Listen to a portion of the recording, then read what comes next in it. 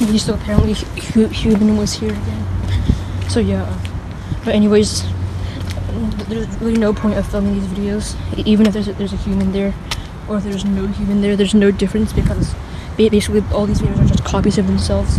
Of just me putting water to the periwinkles, and sometimes it's just me going like, "The- okay, the periwinkle exists.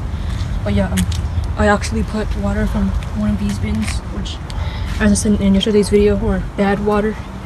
So hopefully uh, that would not be a bad decision, and hopefully the periwinkle will still be alive tomorrow.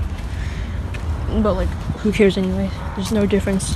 I I could just like upload the same like a du- duplicate video from like last month, and no one would know because they're so similar.